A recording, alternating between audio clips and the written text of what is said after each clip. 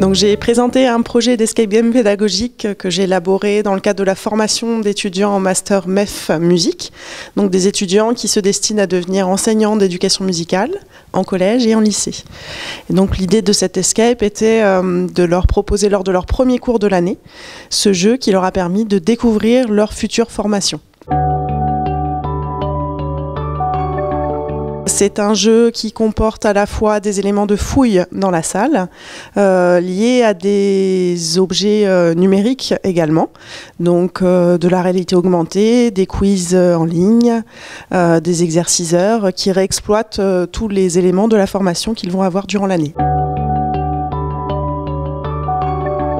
Alors c'est moi qui ai eu l'idée au démarrage. je cherchais comment capter euh, de façon beaucoup plus rapide euh, mes étudiants.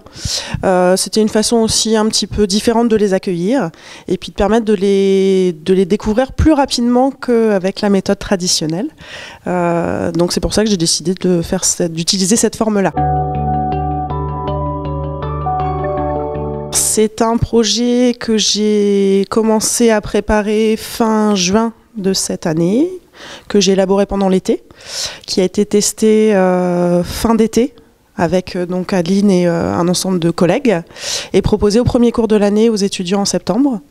je l'ai ensuite réexploité, je l'ai proposé aux étudiants qui étaient en deuxième année et ensuite à leurs tuteurs qui les suivent quand ils sont sur le terrain avec leurs élèves.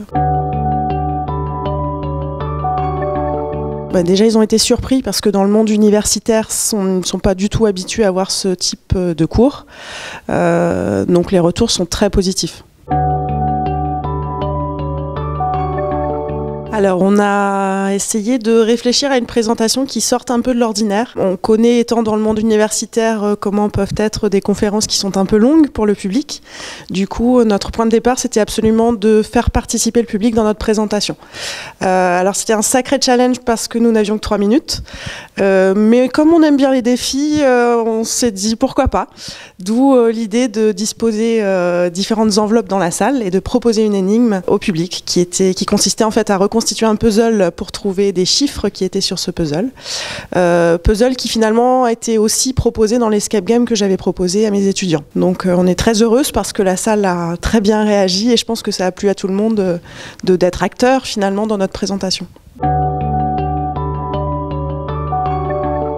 En février dernier, j'ai assisté au salon EduLudique euh, proposé par euh, Canopé à Mont-Saint-Aignan.